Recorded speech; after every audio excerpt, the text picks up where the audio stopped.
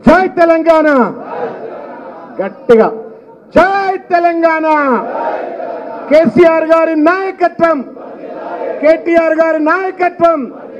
జోహార్లు తెలంగాణ విద్యార్థి అమర వీరులకు. జోహార్లు తెలంగాణ విద్యార్థి అమర వీరులకు. సభాధ్యక్షుడు విద్యార్థి నాయకుడు టిఆర్ఎస్వి రాష్ట్ర అధ్యక్షుడు సోదరుడు గెల్లు శ్రీనివాస్ యాదవ్ గారు ఈ సమావేశంలో ముఖ్య అతిథిగా విచ్చేసినటువంటి మన ప్రియతమ నాయకుడు తెలంగాణ రాష్ట్రాన్ని అత్యంత అద్భుతమైనటువంటి అభివృద్ధి పథంలో నుంచడానికి కీలక పాత్ర పోషించిన మన ప్రియతమ నేత మన నాయకుడు రామన్న గారికి. అదేవిధంగా ఈ సమావేశంలో బడుగు బలహీన వర్గాల గొంతుకగా ఉంటూ నిరంతరం వారి హక్కుల కోసం పోరాటం చేసి గురుకులాల ద్వారా పేద వర్గాలు కూడా ఉన్నత శిఖరాలు అధిరోహించవచ్చు అని చెప్పని రుజువు చేసి చూపించినటువంటి ఒక మహానుభావుడు ఒక మంచి నాయకుడు మన ఆర్ఎస్ ప్రవీణ్ కుమార్ గారు. అదేవిధంగా మాజీ మంత్రివర్యులు ప్రశాంత్ రెడ్డి గారు పార్లమెంట్ సభ్యులు మాజీ పార్లమెంట్ సభ్యులు సుమన్ గారు ఈ సమావేశంలో ఉన్నటువంటి విద్యార్థి నాయకులు విద్యార్థి చెప్తాను.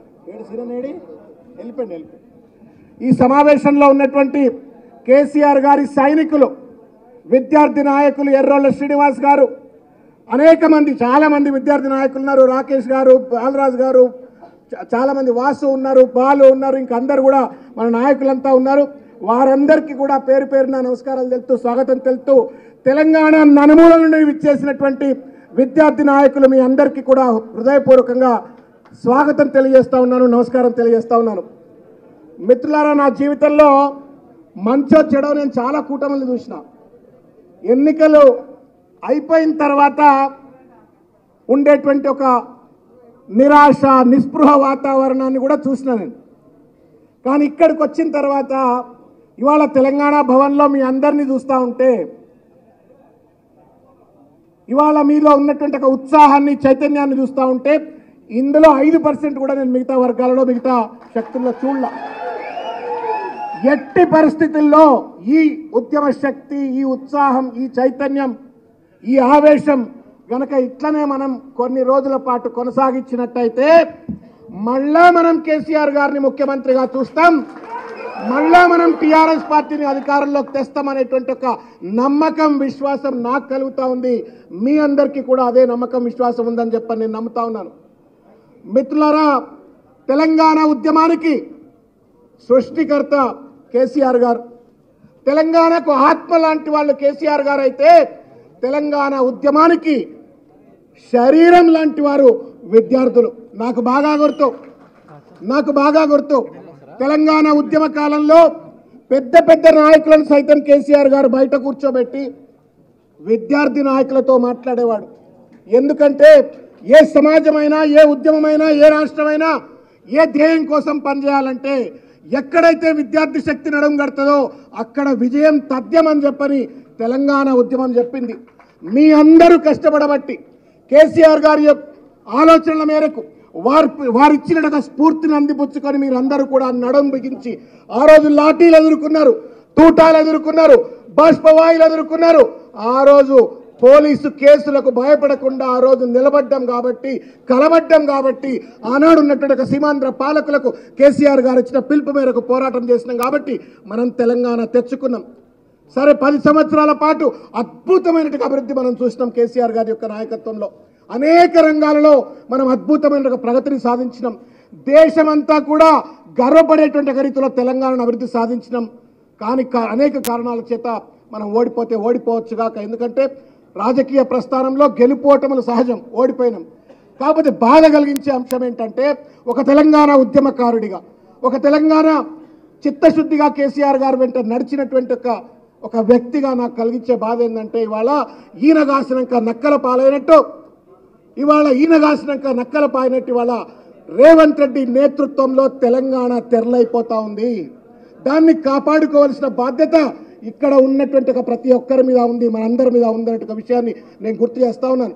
విద్యార్థులుగా విద్యార్థి నాయకులుగా స్కాలర్షిప్ల కోసం కళాశాలలో హక్కుల కోసం లేకపోతే ఇంకేమైనా విద్యార్థి రంగ సమస్యల కోసమే కాదు మనం పోరాడడం. మీరు విద్యార్థి ఉద్యమాల చరిత్ర ఎక్కడ చూసినప్పటికీ కూడా they never confine to their own student problems they stepped beyond the student problems సమాజానికి రక్షకులుగా ఉన్నటువంటి ఒక విద్యార్థులే దేశానికి రక్షకులుగా ఉన్నారు. ఇవాళ తెలంగాణను కాపాడుకోవాల్సిన ఒక బాధ్యత మీ పైన ఉంది అని చెప్పి నేను తెలియజేస్తా ఉన్నాను. అనేక వాగ్దానాలు రామన్న మాట్లాడతారు ప్రవీణ్ గారు మాట్లాడతారు కాబట్టి చాలా విషయాలు చెప్తారు. రేవంత్ రెడ్డి అధికారంలోకి వచ్చే ముందు మనకు చెట్ల మీద ఇస్తారులు కొట్టినట్టు అనేక రకాల వాగ్దానాలు చేసిండ్రు. ఇవాళ వాగ్దానాలు పట్టించుకున్న పాపాన ఓట్లేడు. అటు రైతులను ఆగం చేస్తూ ఉండు నిరుద్యోగులు ఆగం చేస్తూ ఉండు మహిళలను ఆగం చేస్తూ ఉన్నాడు. ఒక రియల్ ఎస్టేట్ మాఫియా లెక్క ఇవాళ తెలంగాణ పరిపాలిస్తూ ఇవాళ ఒక ప్రయోగశాలగా మార్చేసిండ్రు. మొత్తం మీద రేవంత్ రెడ్డి టార్గెట్ అంతా మీరు కనుక గమనించినట్టయితే పేద వర్గాల పైన దాడి. ఇవాళ ఇంతమంది తమ్ముడు చెప్పినాడు zero twenty nine it's an attack on the backward classes SC ST and then downtrodden sections దయచేసి అర్థం చేసుకోండి. ఇది కేవలం ఐదు వందల అరవై ఆరు వందల ఉద్యోగాల మీద జరుగుతున్నటువంటి ఒక కుట్ర కాదు మొత్తం తెలంగాణ రాష్ట్రంలో ఉన్న ఒక సబ్బండ వర్గాల పైన రేవంత్ రెడ్డి ప్రభుత్వం చేస్తున్న ఒక దుర్మార్గమైనటువంటి ఒక దాడి. దాన్ని మనం తిప్పికొట్టవలసిన అవసరం ఉంది అని చెప్పని సందర్భంగా నేను తెలియజేస్తా ఉన్నాను. హైడ్రా పేరు మీద ఎవరిల్లు గులబడతా ఉన్నాడు? పేదోళ్ళ ఇల్లు గులగొడతా ఉన్నాడు. మూసీ నది పేరు మీద ఎవరిల్లు గులగొడతా ఉన్నాడు? పేదోళ్ళ ఇల్లు గులగొడతా ఉన్నాడు. పెన్షన్లు ఇస్తాను ఇవ్వకుండా ఎవరి నోళ్ళ మన్ను కొడతా ఉండు? పేదోళ్ళ నోళ్ళ మన్ను కొడతా ఉండు. విద్యార్థులకు అలవెన్సెస్ ఇస్తా అని చెప్పిండు అన్ఎంప్లాయ్మెంట్ అలవెన్స్ ఇస్తా అని చెప్పిండు. ఏ విద్యార్థి ఎదురు చూస్తుండు? పేద విద్యార్థి ఎదురు చూస్తుండు. ఇట్లా పేద వర్గాల పాలని శాపంగా మారి వాళ్ళ రేవంత్ రెడ్డి ప్రభుత్వం వ్యవహరిస్తూ ఇవాళ అత్యంత దుర్మార్గంగా ఏ కష్టపడి తెలంగాణ తెచ్చుకున్నాడో తెచ్చుకున్నాడు కేసీఆర్ గారు. పది సంవత్సరాల పాటు నిరంతరం ఒక ఋషి వల్ల ఒక ఋషి వల్లే శ్రామికుడి వల్లే కష్టపడి తెలంగాణను అన్ని రంగాల్లో అత్యంత ఉన్నతమైన స్థాయిలో అభివృద్ధి చేస్తే ఇవాళ పిచ్చోడి చేతిలో రాయి లెక్క తెలంగాణను అస్తవ్యస్తం చేస్తున్నటువంటి పరిస్థితి ఉంది. ఈ పరిస్థితి నుండి కాపాడుకునేటువంటి బాధ్యత మీ అందరిపైన ఉందని చెప్పని ఈ సందర్భంగా తెలియజేస్తా ఉన్నాను. ఏం చేయాలి మరి కాపాడాలంటే? ఏం చేయాలి కా? ఇంతమంది మాట అన్నారు. ఇన్ని ముచ్చట్లు చెప్పుకుంటున్నాం కదా మనం ఎందుకు ఓడిపోయినామంటే మనం చేసిన పని మనం సరిగ్గా చెప్పుకోలేదు దిస్ ఇస్ మై రియలైజేషన్ అనేక పనులు చేసినాం. మంచి పనులు చేసినాం. చాలామంది జీవితాల్లో వెలుగులు నింపినాం. కానీ ఎక్కడా కూడా మనం చెప్పుకోలేదు. ఆ చెప్పే బాధ్యత ఇవాళ మన పైన ఉంది. ఇంటింటికి పోయి చెప్పవలసిన బాధ్యత ఉంది. కాలేజ్ కాలేజీకి పోయి చెప్పవలసిన బాధ్యత ఉంది. ప్రతి కళాశాలలో కమిటీలు వేసుకోవాల్సిన బాధ్యత ఉంది. సామాజిక మాధ్యమాలలో మనం ఇంకా కూడా యాక్టివ్గా ఉండవలసిన అవసరం ఉంది. కేసీఆర్ గారు చేసిన కష్టం శ్రమ వారి తెలంగాణ రాష్ట్రాన్ని అభివృద్ధి చేసిన ఒక ప్రస్థానాన్ని తప్పనిసరిగా ప్రజలకు చెప్తూనే పిచ్చోడి చేతిలో రాయిగా మారి ఇవాళ పేద వర్గాల పట్ల శాపంగా మారిన రేవంత్ రెడ్డిని ఆయన ప్రభుత్వాన్ని కూడా నిలదీసేటువంటి ఒక బాధ్యత మీపైనే ఉంది. దయచేసి మిత్రులారు నేను ఒక విషయం చెప్తా ఉన్నాను. ఇక్కడికి వచ్చినప్పుడు ఎంత ఉత్సాహంగా వచ్చిండ్రో మీ కాలేజీకి పోతే ఒక్కొక్క కాలేజీలో కమిటీలు వేసుకోవడం కోసం బ్యానర్లు కట్టడం కోసం పోస్టర్లు వేయడం కోసం ప్యాంఫ్లెట్ వేయడం కోసం భావజాల వ్యాప్తి కోసం కూడా అంతే పెద్ద ఎత్తున పనిచేయాలని చెప్పని ఈ సందర్భంగా మీకు తెలియజేస్తూ చాలా మంది ఇంకా పెద్దలు ఉన్నారు మాట్లాడేవాళ్ళు. వాళ్ళందరూ కూడా ఇంకా చాలా విషయాలు చెప్తారు. ఒక విషయం మాత్రం చెప్తా ఉన్నాను. ఎమ్మెల్యేలు ఉంటారు ఎంపీలు ఉంటారు ఇంకా పెద్ద పెద్ద నాయకులు చాలామంది ఉంటారు. కానీ ఈ పార్టీకి రాముడి వెంట రాముడి విజయంలో ప్రధాన పాత్ర ఎవరిది? ఎవరిది? కోతులది వానర్లది హనుమంతుంది. మనం కూడా హనుమంతులమే. మనం కూడా వానర్లమే. కేసీఆర్ గారి వెంట కేటీఆర్ గారి వెంట వానర్ల వలె సైన్యం వలె మనం కదిలితే రేవంత్ రెడ్డి అనే రావణాసురుణ్ణి తొక్కి పడేయచ్చిన సామిరంగా ఇది మనం తప్పనిసరిగా చేయొచ్చు అని చెప్పి తెలియజేస్తూ నాకు ఈ అవకాశం ఇచ్చిన మీ అందరికీ పేరు పేరున ధన్యవాదం. నన్ను ప్రేమగా ఇక్కడికి ఆహ్వానించినటువంటి తమ్ముడు గెల్లు శ్రీనివాస్ యాదవ్ గారికి శుభాభినందనలు తెలియజేస్తూ ఇంకా గట్టిగా పనిచేద్దాం. ప్రజల పక్షాన పోరాడదాం. జై తెలంగాణ. జై కేసీఆర్. జై కేటీఆర్. పెద్దలు డాక్టర్ శ్రవణ్ గారికి దాసు శ్రవణ్ గారికి ధన్యవాదాలు.